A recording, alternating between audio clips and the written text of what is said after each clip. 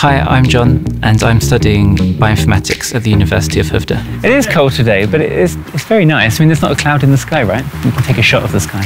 I come from Great Britain, and I've been living here for two years now. This is the library.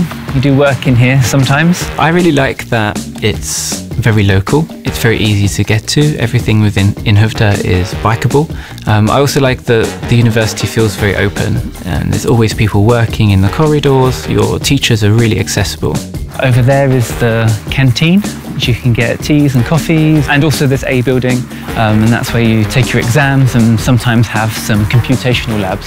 Bioinformatics is interesting because it can be applied to so many different fields. Uh, the details of programming and how that can apply to different biological information and inputs, but that can really be applied to anything from stem cells to artificial organ design to disease modeling. But we've got lots of labs.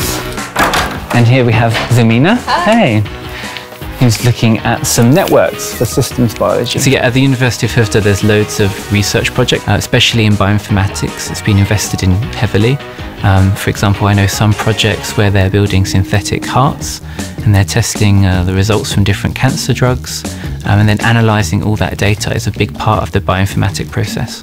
We also have sequencing devices. This is the world's smallest. Um, and it's fantastic because we can sequence huge chunks of genomic data um, just using this tiny little thing here. Um, so it's good that at the University of Skövde you're working with something that's new and is going to be emerging as time goes on.